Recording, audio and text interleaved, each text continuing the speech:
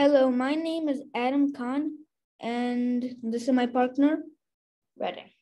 My name is Redding, and I am Adam's partner in the Metropolitan School of Panama exhibition project. Our goal is life below water, which is the term goal 14. Our target is target 1.14. By 2025, stop or reduce all ocean pollution. So, this is our podcast, and let's get started. So, we got these questions, and let's answer them. Okay, so Redding, take it away. Thank you, Adam. Mm-hmm. So, you might ask, what are oil spills? Because, well, first of all, our target is oil spills. That is what we are working on. So, you might ask, what are oil spills? Very big question. So, oil spills are when a boat has a leakage of petroleum or just oil that it is carrying around. Petroleum is gasoline. Adam? Okay, so basically, now, how many gallons of oil do we spill in the ocean? Very well, good question. Not, well, basically, there's no precise answer, but I do know the year. It is, it is about, I think, 1.3 million gallons a year, normally a year. That is quite that, a lot. That but is back, a lot, Adam. But back then it was way worse. But but we should be grateful as technology today. So you also might ask, why are oil spills dangerous? Very, very well, Oil spills are dangerous because they will spread into the ocean and then they will go into beaches or it'll just spread across the ocean and then all animals that go close to the surface will get affected. Plus, this is not good because it could destroy whole ecosystems. And food chains, those are very important. Yeah. Including us. Okay, you also may ask, also, how does an oil spill happen?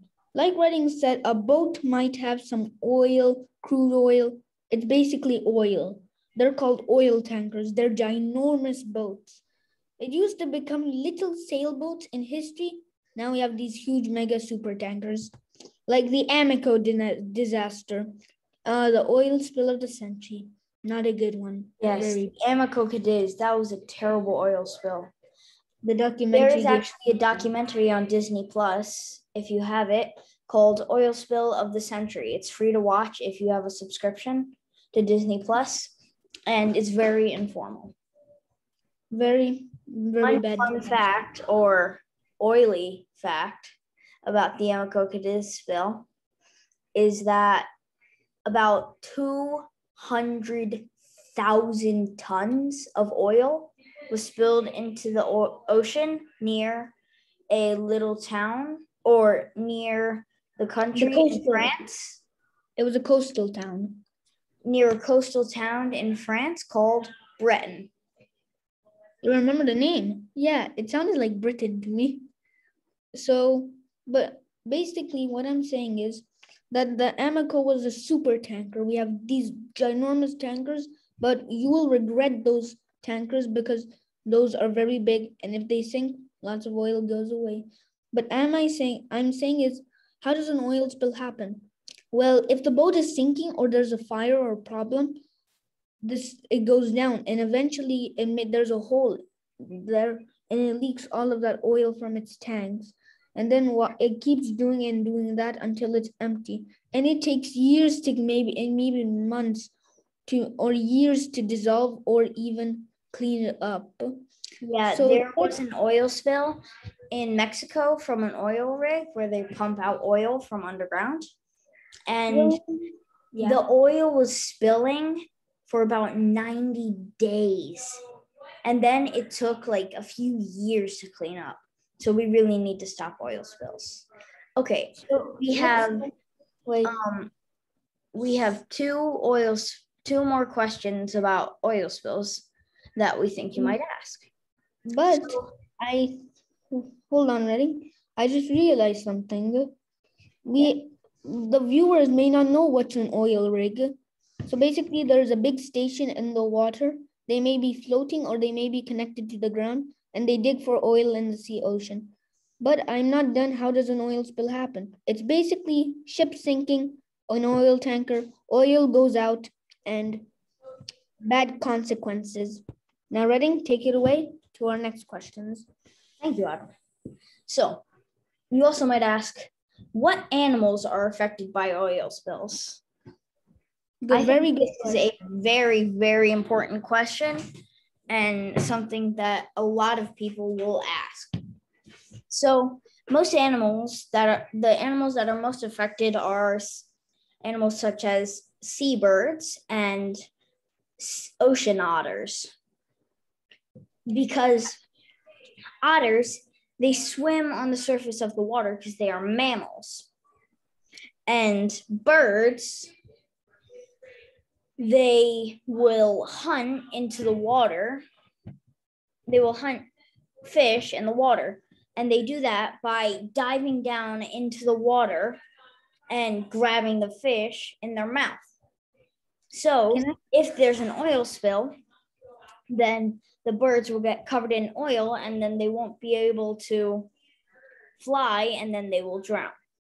Actually, Very hey, Redding, that's true. That's a very true fact. I can connect something to the otters. I've actually studied otters. It was my in school. I think last year we were studying making a paper about them. So I chose my otter as my main animal. Correct.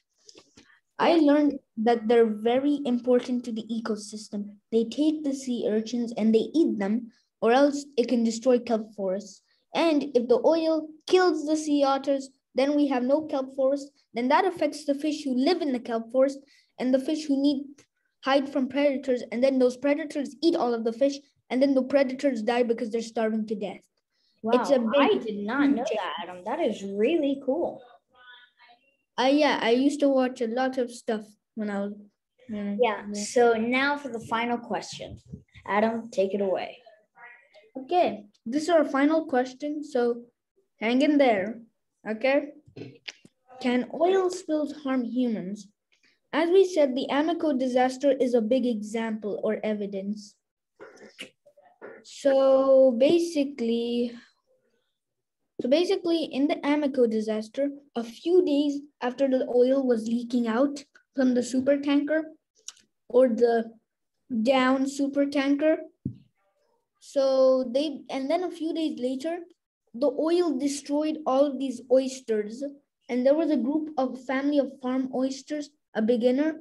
And today they're very known for their nice oysters. But back then, it nearly devastated their whole business in the food chain.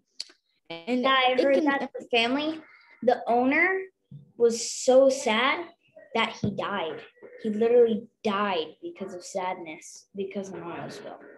Really? And Is that what- also, another fact about the Amacoca is, is that people couldn't really go into the ocean and fish because all the water was covered in oil. Not to mention all the fish who died. Yeah, and another fun fact is about about that is that now where the oil spill happened in Britain, France, they now have a very very good method of cleaning up oil spills. So they'll Really? get big bulldozers and push the oil to a part of the beach that where the waves are really really strong and then the waves will get all the oil out into the water and separate the oil from the sand and then they'll suck up all the oil and just drain it out of the ocean and boom no more oil and they said it takes about 15 minutes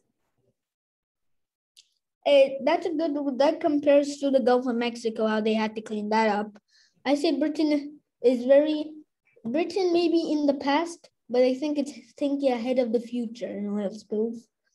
yeah Good job, Ryder. so that was our final that was our first episode hope to I hope that you keep watching, and we will see you in the next episode. Oh, wait, guys, if you want to hear some more facts, well, this is the book for you. Oh, well, you can't see it. It's an invisible book. Uh, anyway, uh, so that's how, so it can harm humans by the food chain. And like Redding said, good. Bye. Bye.